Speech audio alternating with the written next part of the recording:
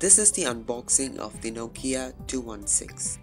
This phone is priced at Rs 2400 on Flipkart.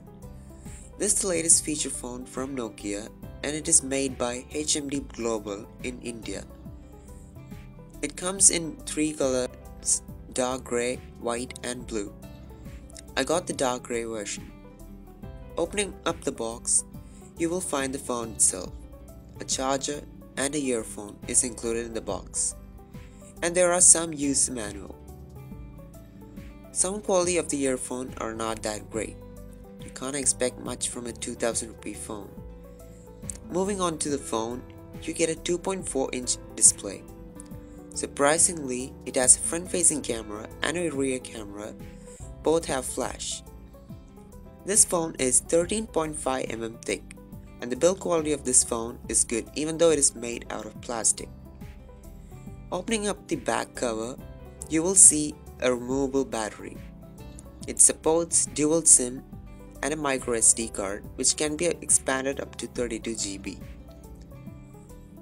This battery is 1020 mAh which can easily last for 2 days.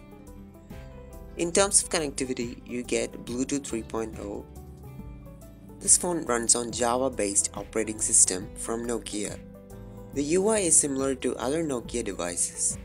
You have a few pre-installed apps and games such as Opera browser, weather app, Bing, and other few games. The phone is very snappy and you won't feel any lag on this device. Sound quality of this device is quite good.